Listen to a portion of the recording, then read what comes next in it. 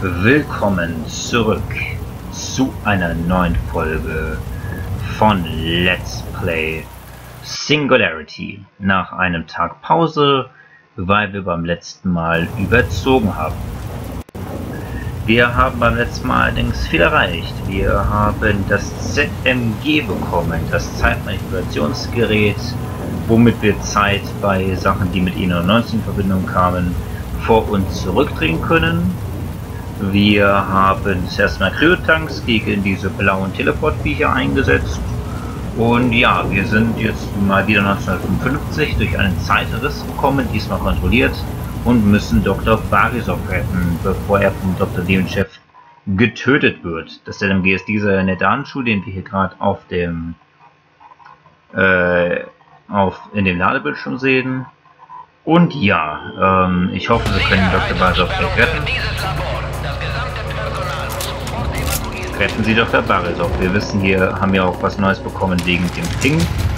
Äh, wegen dem Chrono-Ping. Können wir den denn nachladen? Ja. Das haben wir P, ne? Was, äh, ja, ich weiß schon, wer ohne Genehmigung hier ist, wird standesgemäß erschossen, aber wir erschießen selber. Was war denn der Chrono-Ping? Mit F. Das sind so blaue Fußspuren, die man hier total gut sieht. Wird schwer bestraft, ne? man sieht hier schon. Meinten das nicht auf Spaß. Meine Maus geht übrigens wieder, die war ja beim letzten Part ein bisschen Schrott. Das Hilfspäckchen. Ach, äh, geht ja schon gut los. Ja, dann nehme ich aber die hier.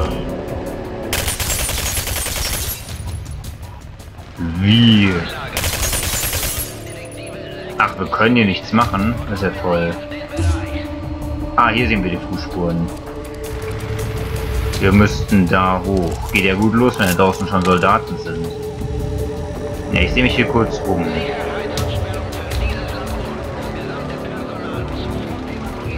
Wir dürfen halt nicht vergessen, dass hier unten, ja, hier ist, glaube ich, kommt man irgendwo hin.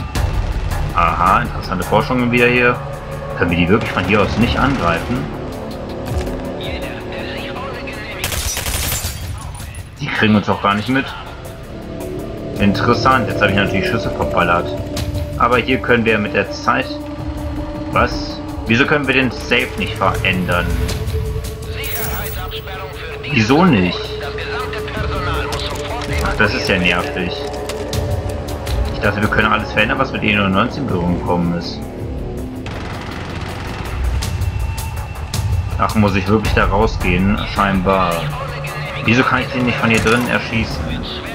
E99 Energiezellen. Das ist dasselbe wie Heiltränke. Da haben wir jetzt eine nur fürs E99. Also fürs ZMG. Auch ein netter Kreis hier. Na toll, ich wollte die eigentlich...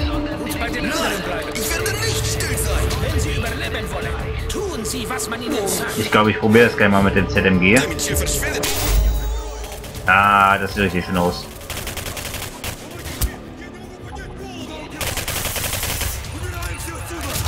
Du lebst noch. Jetzt lebst du nicht mehr. So. Jetzt würde ich gerne runtergehen und mir das Headback holen. Eins benutzen wir, damit wir es hier unten holen können. Also jetzt gerade jemand wird das ZMG mal gegen einen Menschen verwendet und der ist sehr, sehr schnell zu Staub zerfallen. Das sah sehr schön aus. Kostet halt einiges an ZMG-Energie, aber die baut sich ja von selber wieder auf. So, hier haben wir jetzt einige gekillt. Wir haben halt jetzt leider nicht mehr viel Schuss in der in der Knarre. Ist hier noch äh, ein Murt hier noch ein Hund?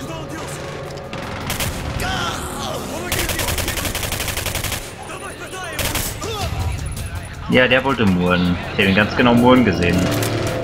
Habt ihr äh, Valkyries? Ist ja toll hingefallen. Ja, da war Munition. Schade, nur einmal. Ich räume überhaupt keinen Bereich. Ich habe eine Mission zu erfüllen. Ja.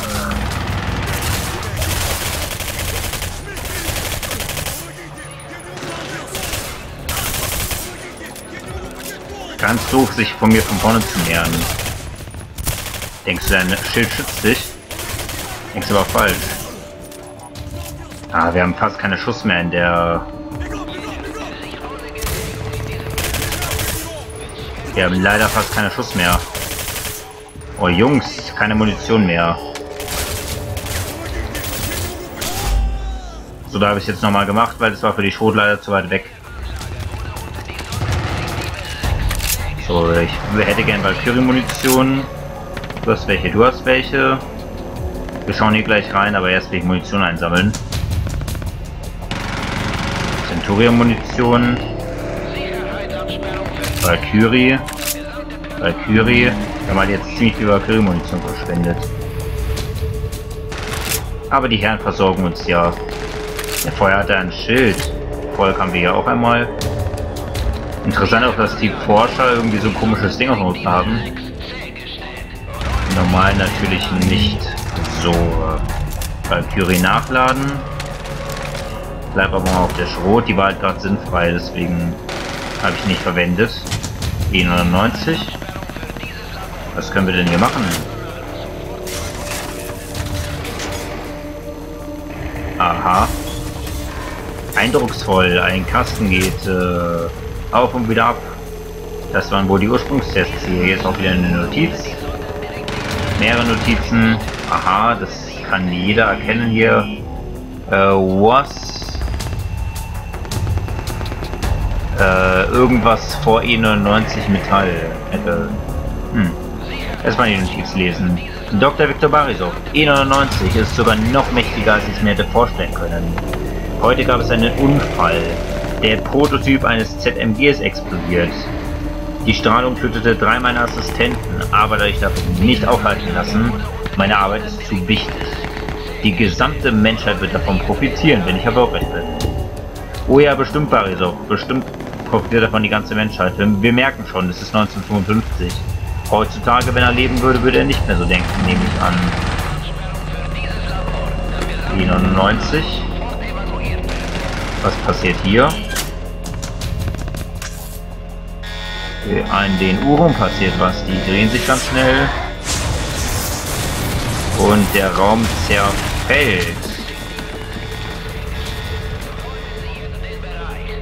Okay, können wir aber hier nicht mehr zurückdrehen. Ja gut.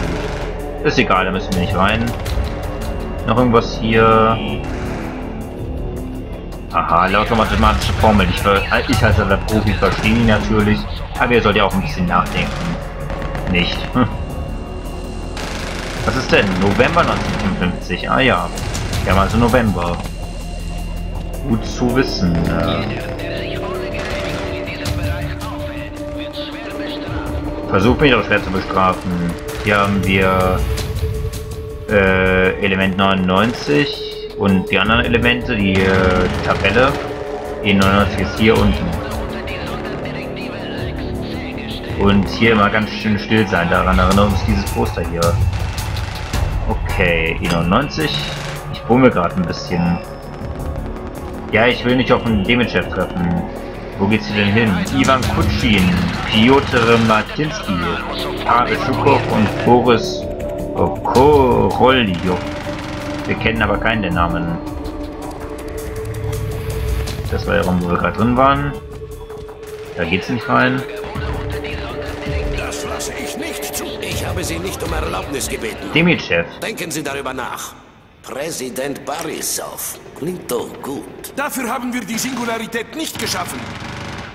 Ich wollte nett sein und Sie teilhaben lassen. Machen Sie keinen Fehler. Du machst einen Fehler. Und tschüss, Demichef. Ziel erfüllt. Ja, der Demichef wollte gerade den Barisov erpressen, aber der Barisov wollte nicht mitmachen. Ich wollte jetzt verhindern, dass er ihn erschießt, deswegen... Der hat jetzt gerade zwei Schrotflintentreffer abbekommen, aber ich weiß nicht, er ist im Fenster untergefallen. Das ZMG. Wie... Sie haben mein Leben gerettet. Ja. Sie tragen das ZMG und eine amerikanische Uniform. Irgendwas muss furchtbar falsch gelaufen sein. Mir nach. Ich brauche meine Aufzeichnungen. Demichevs Männer! Demichevs Männer dürfen gleich mal sterben. Oh, eine Granate, du Bastard. Und ganz dringend Help. Der wollte eine Granate schmeißen. Ja, toll, Barisov, wie du vorläufst. Ich nehme hier erstmal mit. Das ist ja super, der hat also auch die Devlin-Krankheit. Ich frage mich... Ich weiß nicht, ob der Chef tot ist, der ist hier aus dem Fenster gefallen. Aber wir sehen seine Leiche nicht. Don't know, ob der tot ist. Hier noch irgendwas drin? Erste-Hilfe-Päckchen. Benutze ich noch nicht. Aber da haben wir wieder fünf jetzt von. Und toll, wie Barisov vorgelaufen ist, weil er ist ja Zivilist. Okay, ich bleibe jetzt mal ein bisschen auf der Schrotflinte. Ja, leg dich hin. Hatte die Augen offen. Der hat eine Granate geworfen, die hat uns auch so viel Schaden gemacht. ZMG Energiezelle. Ihre E99 Energie füllt sich wieder auf, doch Sie können ZMG Energiezellen wahrscheinlich benutzen, um diesen Vorgang zu beschleunigen. Die Zellen werden automatisch eingesetzt, wenn sie über keine E99 Energie mehr verfügen, aber versuchen jetzt ZMG zu benutzen. Worauf wartest du denn, Barisov?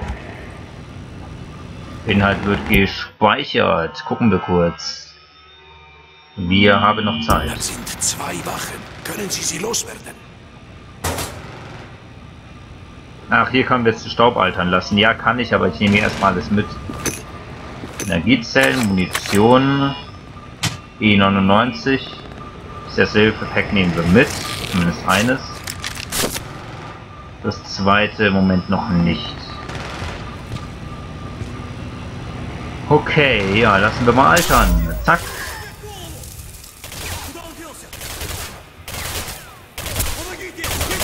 Und zack. Dieses Altern ist der Hammer. Beide tot. Beide zerfallen zu Staub. Staub zu Staub. Ich wusste, Demichev würde zornig sein, als ich mich weigerte, an der Singularität zu arbeiten.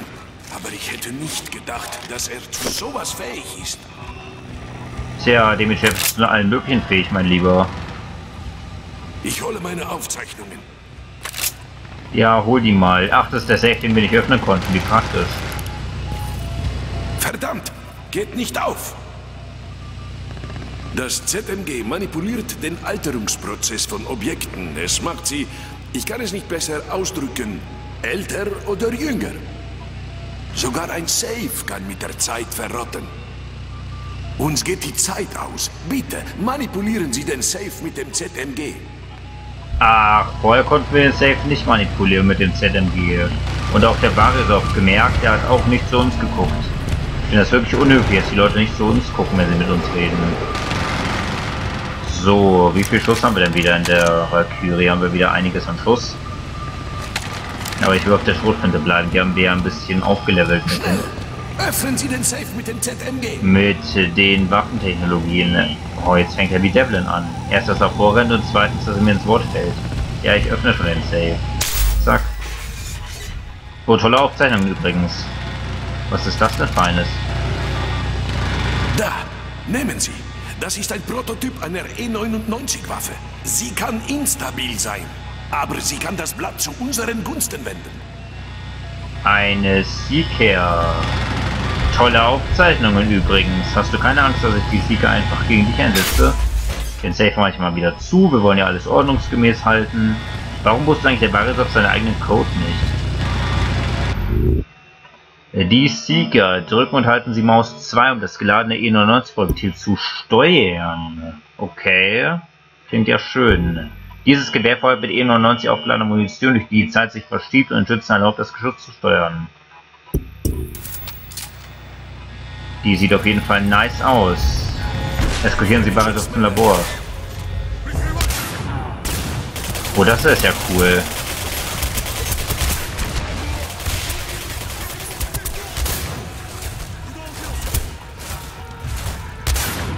Das ist ja mal cool mit dem Steuern. So, jetzt können wir die durch den Raum steuern. Ach, das hat ja super geklappt. Heilen.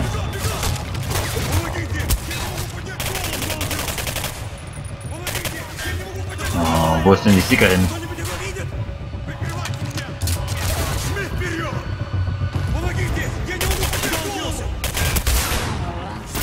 Ja, irgendwie klappt es mit dem Steuern nicht. Irgendwie klappt es mit dem Steuern nicht. Ich äh, gehe auf die normale MG.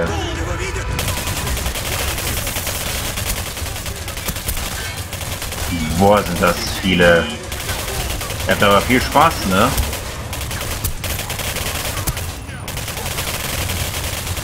Ich bin auch wieder ein Meisterschutz des Verfehlens. Heilen, wir haben noch zwei Heilmittel.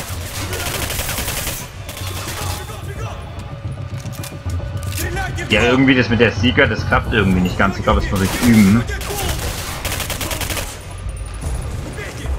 Da sind ja immer noch Leute.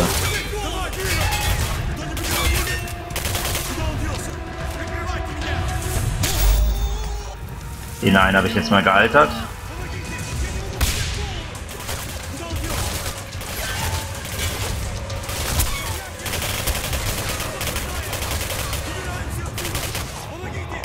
Sind die denn alle?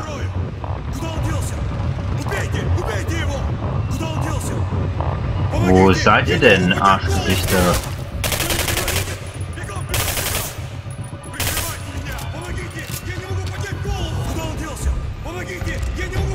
Da habe ich doch gerade einen gesehen irgendwo.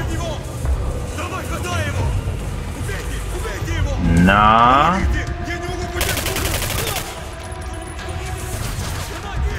Da liegt ein Health Pack. Aber die geben aber auch nicht auf, da kommen dauernd neue.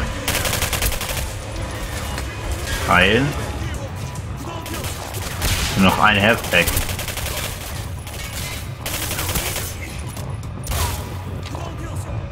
Man merkt es vielleicht, ich bin kein Counter-Striker, äh, kein Counter-Striker.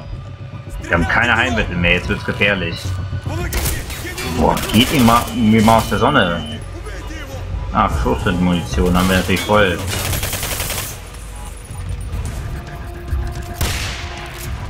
Da kam wieder eine Granate. Waren das jetzt alle, ja? Ach, Barisov rennt wieder vor, praktisch. Die Sieger lasse ich mal hier. Irgendwie hat er mich vorher nicht so erfreut.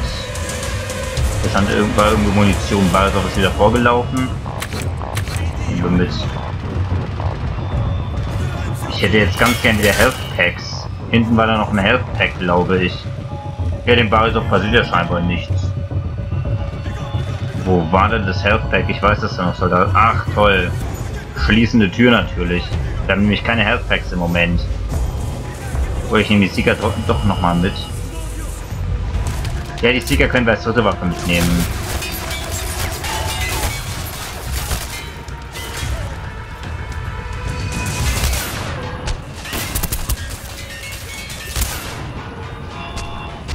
Irgendwie... Ach, mit der Maus kann man die bewegen. Ja, das muss man wissen. Ja, toll.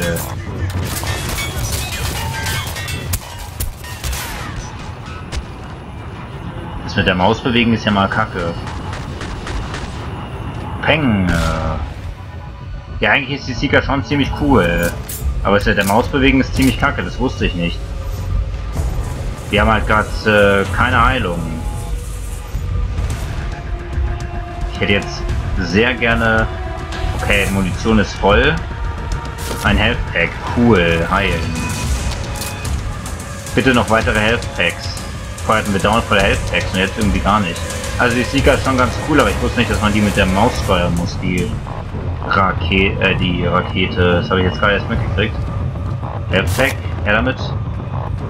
Jetzt haben wir erst wieder eines. Das gerade eben war ziemlich unschön, es waren viele Gegner. Was mich daran bestärkt, dass ich glaube, dass wir den Chef nicht getötet haben. Aber geil, ne? der Barisov stand direkt daneben und dem hat einfach mal der Soldat gar nichts getan. Hier ist halt nur Munition, die wir gar nicht brauchen können. Weil Valkyrie ist voll. Und Shotgun auch. Irgendwas hier unten? Nein. Die Musik ist auch noch nicht vorbei. Keine Healthpacks mehr hier. Scheinbar nicht. P99 haben wir aber nochmal.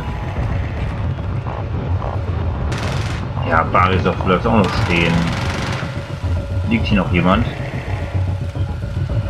Wir haben trotzdem nur ein Health Pack, das ist sehr magier. Valkyrie Munition, ja bevor ich da jetzt reingehe. Hoppala. Aggressionen gegenüber Kästen. Äh. Das Schießen hier macht mich auch gerade etwas nervös. Merkt man vielleicht. Was ist hier drin? E99 und Health Pack. Sehr schön. Und Energiezellen für das ZMG.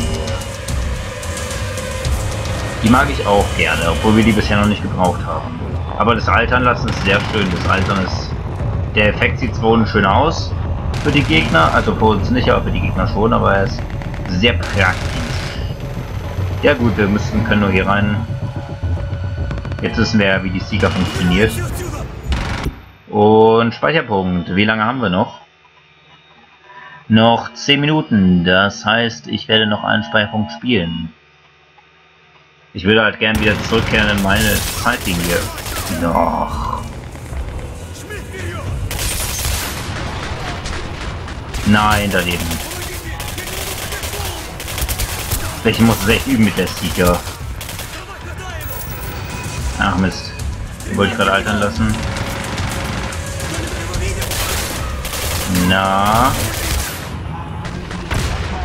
Haben wir ihn getroffen? Ich glaube. Oh, Feuer.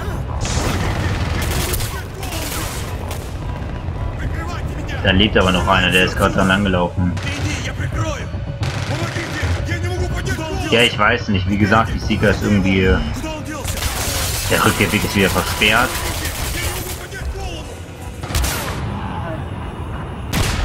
Bang. Äh, wir haben noch drei Kugeln, der Seeker.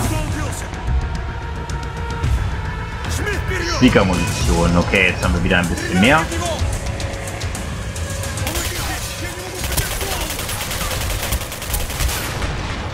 Ich frage mich, ob wir getroffen werden können, während wir die Kugel steuern. Heilen. Jetzt haben wir wieder noch ein Health-Pack. Aber der Seeker tut auf jeden Fall immer One-Hitten, das ist sehr schön. Volle Munition. Seeker-Munition zählt anscheinend nicht. Ich glaube, der ist halt eher eine Waffe für spezielle Zwecke. Boah, ihr seid ja immer noch hier. Headshots. Nachladen. Peng. Der Sieger ist wirklich nett. Man muss nur mit dem umgehen können. Ich übe das halt gerade ganz bewusst. Wo sind die denn alle? Wie viele Russen sind hier denn noch? Geht Wodka trinken, lasst mich in Ruhe. Health Da habe ich doch Verschlüsse gesehen. Au, au, au.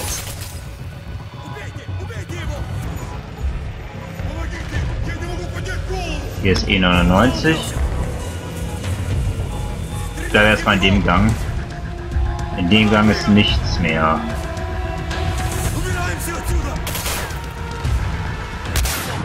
Da taugt sich doch ein Genosse. Der hat gerade eine Granate geworfen auch gehabt. Da ist noch einer. Bang. Ja, jetzt macht der Sieger richtig Spaß. Als ihre Munition brauchen wir nicht. Den habe ich jetzt mal wieder altern lassen. Das Altern lassen macht auch sehr Spaß. Na, Mut jetzt hier noch jemand? Langsam die Nase voll von denen hier. Ja, die Sieger ist eine dritte Waffe. Manchmal können wir... Ja, Barisov läuft wieder vor. Manchmal können wir auch eine dritte Waffe nehmen, wollte ich sagen.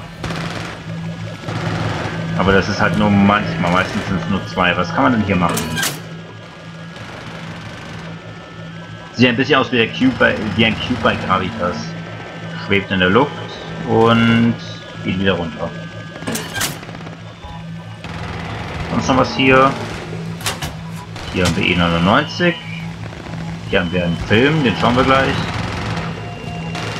Äh, die sehen auch total sicher aus. Ach, und die Texturen sind hier wieder toll. Was machen die dann hier? Ach, die schweben auch in der Luft. Und machen Felder. Okay, ich dachte, es wären Bomben. Gut, ja, dann haben wir hier ein Filmarchiv. Das schauen wir gleich. Obwohl, schauen wir jetzt schnell. Sein Filmarchiv hatten wir auch vom letzten Part. Ich hoffe, wir schaffen es halt jetzt noch rechtzeitig. Wir hatten halt noch 10 Minuten, deswegen mal gucken, was diesmal kommt. Research Installation. Äh Projekt 6265, der Deadlock. Demonstration der praktischen Anwendung meines Durchbruchs bei der Kontrolle der temporalen Störungen durch E99. Der Blockierer ist ein Gerät, das bei Aktivierung die Zeit im Umkreis einfriert. Der Effekt ist zeitlich begrenzt und er kann durch gravimetrische Energie deaktiviert werden. Man kann ihn einfach durch erneuten Einsatz reaktivieren. Das Zeitstörungsfeld bildet auch einen sehr nützlichen Schild. Ich bin sicher, dass wir durch meine Forschung nächstes Jahr eine Waffe haben, die alles, was der Westen hat, bei weitem übertrifft. Und dann kann der Eroberungszug des Kommunismus beginnen. Für die Sowjetunion! Ja, denk das mal, Barisov. Wir haben nämlich jetzt das ZMG. Der Blockierer, ein Schild, was die Zeit einfrieren kann. Das sind diese Kügelchen hier. Aber ich glaube, das kriegen wir auf das ZMG. Noch eine Notiz vom Dr. Viktor Barisov faszinierend. Die Entdeckung des E99 öffnet sogar mehr Möglichkeiten, als selbst ich zu Anfang angenommen habe. Wir haben es geschafft, sein Potenzial in einem Gerät nutzbar zu machen, das Dr. Dimitrov einen Blockierer nennt. Mit ihm lässt sich ein Feld generieren, das die Zeit selbst verlangsamt. Einfach faszinierend, hat er ja gerade gesagt. Wieso sind eigentlich die Texturen hier so scheiße? Waren vorher irgendwie besser. Okay, hier haben wir glaube ich alles. Das heißt, wir gehen wieder nach... Hier vorne war ja auch nichts mehr, ne? Nein, nein, das ist nur der Zwischenraum hier. Das heißt, wir gehen wieder nach hier vorne. Der Barisov könnte vielleicht uns mit dem E99 mal helfen. Der müsste sich ja damit auskennen. Hier geht's noch irgendwo hin. Eine Waffentechnologie. Her damit. Sonst ist hier aber nichts. Hier ist ja der Barisov vorher lang gelaufen. Weitere Baupläne. Da hinten steht er. Und wartet ganz fleißig. Hier vorne ich auch noch was. Was wir bestimmt haben wollen. Wo müssen wir denn laut den Fußspuren? Hier lang. Ne? Dann gehe ich erstmal hier rein.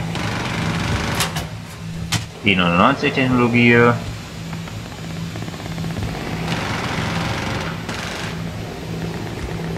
Und E99-Technologie und ein Erste-Hilfe-Bäckchen. Das wollen wir alles haben. Wieso sind die Texturen denn gerade so kacke? Und mehr ist hier nicht. Okay. Da liegt noch Munition, die haben wir aber voll. Er ist übrigens auch ganz cool gestorben hier. Ganz cool und lässig. E99. Barisov hat die Tür geöffnet. Nur noch ein bisschen. Inhalt wird gespeichert. Ich glaube, wir haben die 10 Minuten rum. Ja, wir haben nur noch 2 Minuten, das heißt, wir hören jetzt auf. Wir müssen also Dr. Barisov noch fertig eskortieren. Aber das Gute ist, dass wir mit der, jetzt wissen, wie die Seeker funktioniert. Das wusste ich halt vorher nicht. Und äh, dass wir jetzt mal ein paar Soldaten haben altern lassen. Aber es war schwer. Wir hatten ja zwischendurch wirklich gar keine Heil gar keine Verbandskästen mehr, gar keine Medipacks und sehr wenig Leben, also es war jetzt schon nicht ungefährlich. Die sind schon ziemlich stark. Aber schön, dass wir eine Waffentechnologie bekommen haben und so. Und ja, beim nächsten Mal kommen wir vielleicht wieder nach 2010 zurück. Wir sind halt jetzt immer noch in dem Zeitriss drin. Und mal gucken, was Barisov dann sagt. Er hat ja schon gesagt, irgendwas ist schiefgelaufen, weil ein Amerikaner das ZMG hat. Weil man hat ja gerade eben schon gemerkt, er ist halt auch von Leib und Seele Russe. Er mochte den Westen eigentlich nicht. Aber uns würde er vielleicht schon, uns mag er schon, weil wir halt sein Leben gerettet haben. Deswegen mal gucken, wie das weitergeht. Wir sehen uns dann äh, morgen wieder und heute noch, wenn ihr wollt, der Herr der Ringe Online. Obscure ist schon auf YouTube. Bis zum nächsten Mal, Freunde. Gehabt euch wohl.